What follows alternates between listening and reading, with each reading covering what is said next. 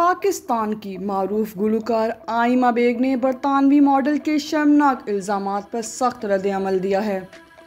आइमा bag ने अपनी Instagram story पर एक पोस्ट शेयर की है, जिसमें उन्होंने तनकीद करने वालों को मुखातिब करते हुए कहा कि पूरा सच जाने बगैर आप लोगों ने बोल लिया, या अभी कुछ और बाकी है। अगर नहीं तो मैं बोलूँ? गुलकारा ने लिखा कि मैंने सारे मामले को इंतहाई बाइज़्ज़त बयान के ज़रिए ख़त्म किया था। मगर इसके बावजूद कुछ लोगों को खामोश रहना चाहिए, क्योंकि ना सिर्फ़ उनसे मुतलिक बल्कि उनकी फैमिली से मुतलिक भी बुरी चीज़ें सामने आएँगी। और मैं अब भी उनकी इज़्ज़त की खातिर खामोश रहना चाहती हूँ। उन्होंने लिखा कि एक मखसूस इंसान के लिए मैं मरहूम लोगों का मज़ाक नहीं उड़ाना चाहती, और ना ही मैं ये करना चाहती हूँ। क्योंकि ये मेरी परवरिश नहीं है।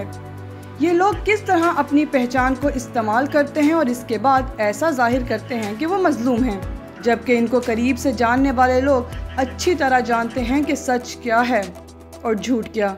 आयमा बेग का लिखना था कि सारा सच जानते हुए भी कुछ लोगों के पास इस मामले में कहने के लिए कुछ नहीं होता। वो इन सब चीज़ों से वाकिफ थे और उन्हें ये भी पता है कि ये सब क्यों हुआ। आयमा बेग ने लिखा कि मैं एक बड़े सदमे से गुजर रही हूँ। ये जानकर डिप्रेशन हो रहा है कि लोगों को असल वाक्य नहीं मालूम। लेकिन वो लोग जिन्हें सस्ती शोहरत, पैसे और फॉलोअर्स चाहिए बर करम इन्हें दे दें, ताकि वो ज़िंदगी में आगे बढ़ें। उन्होंने लिखा कि मैं उनमें से नहीं, जो सारे मामले में आग लगाकर लोगों को मजलूमियत कार्ड खेलने का मौका दूँ। मैंने पहले कभी इस पर बात नहीं की। शायद इन लोगों को अपनी फैमिली की परवाह नहीं और ना ही इतना वक़ार है कि ख़ुद की असलियत कबूल कर सके। आयमा बेग ने लिखा कि सोशल मीडिया पर पोस्ट, मीम्स को बहुत इंजॉय किया। लेकिन ये सब मज़ाक से बहुत दूर है।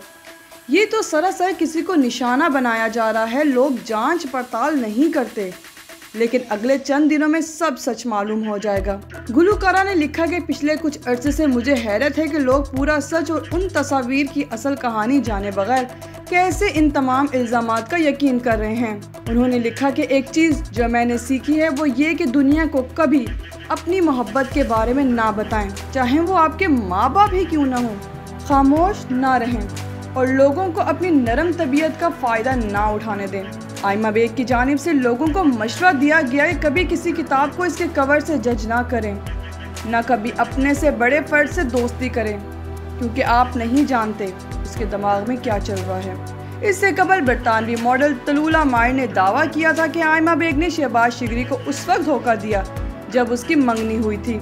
बरतानवी मॉडल तलूला मायर ने इंस्टाग्राम पर स्टोरीज शेयर की, जिनमें उन्होंने दावा किया था कि आयमा बेग ने मेरे सबक बॉयफ्रेंड के साथ ताल्लुकात होने पर अपने मंगेतर शहबाज शिगरी से रिश्ता तोड़ा है। बरतानवी मॉडल ने कहा कि आयमा बेग के मेरे सबक बॉयफ्रेंड कैस अहमद के साथ ताल्लुकात हैं। और सबूत के तौर पर उन्होंने अपने इंस्टा स्टोरीज पर कुछ स्क्रीनशॉट्स भी शेयर किए। इस पोस्ट के सामने आने के बाद आयमा बेग के नाम का हैशटैग ट्विटर पर ट्रेंड कर रहा है। और सोशल मीडिया सार्फिन की जानब से आयमा बेग पर तनकीद का सिलसिला जारी है। दूसरी जानब आयमा बेग और शहबाज शिगरी के सोशल मीडिया अकाउंट ताहाल खामोश हैं।